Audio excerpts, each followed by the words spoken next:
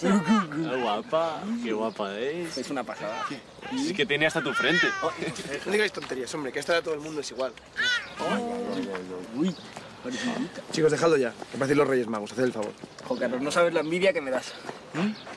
Luis, esto no es solo para un rato. No es solo para pasearlo por el parque y ya está.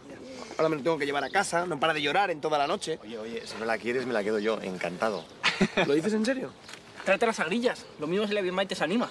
¿Eh? Habláis como si fuese un juego y no lo es. ¿m? O sea, estos nueve kilos van a cambiar mi vida.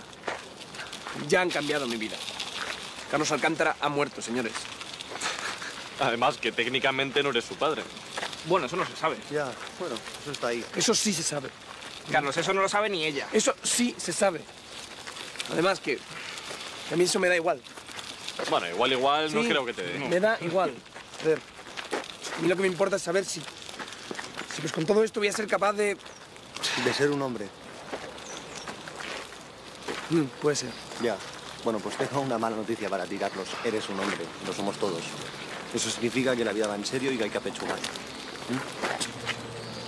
Jode, pero el tiempo decide por nosotros. Nos hemos hecho mayores. Bueno, anímate.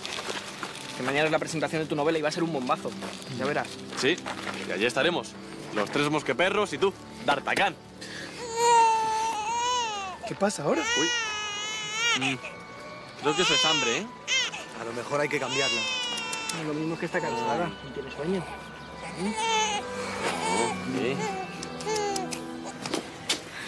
El entrenador.